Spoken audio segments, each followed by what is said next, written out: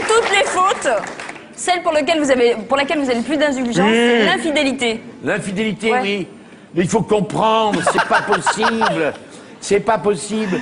Maintenant, à notre époque, on demande à un homme, on connaît l'homme éruptif, l'homme qui a le feu entre les jambes à partir de 7 ans jusqu'à 76 ans et demi exactement. Alors, comment voulez-vous résister? Maintenant, les femmes se mettent des strings des strings. On voit, on voit leur nombril, elles mettent une paire dans leur nombril. On- Il y a des robes, on voit la naissance des fesses. On- de la raie. Il y a des, des, des jupes fendues jusque-là. Elles sont moulées à mort. Elles Michel. se mettent jean. Michel. Mais C'est tellement moulé qu'elles ne peuvent pas marcher. Et on demande à l'homme, on demande à l'homme de ne pas avoir une érection. C'est malhonnête.